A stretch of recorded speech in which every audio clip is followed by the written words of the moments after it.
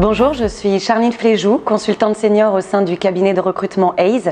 J'interviens dans la division assistana et secrétariat et je recrute tous les profils administratifs sur toute l'île de France et cela pour le compte de tous nos clients.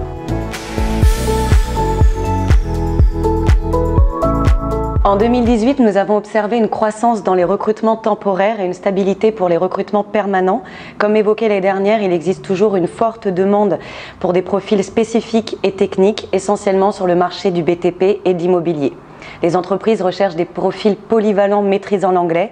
La personnalité et les compétences techniques sont des critères très scrupuleusement étudiés et les jeunes diplômés ayant un à deux ans d'expérience en stage ou en contrat d'apprentissage restent également très prisés sur le marché.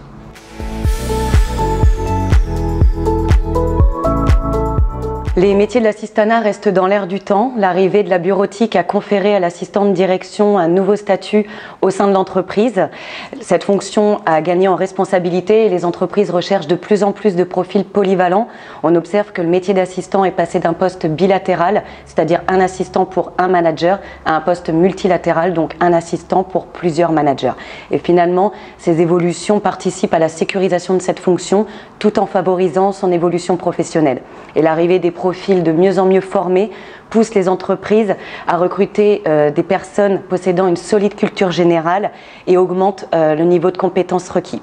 Ces évolutions permettent d'envisager un enrichissement du contenu de cette fonction et d'assurer au métier d'assistant un bel avenir sur tous les secteurs d'activité.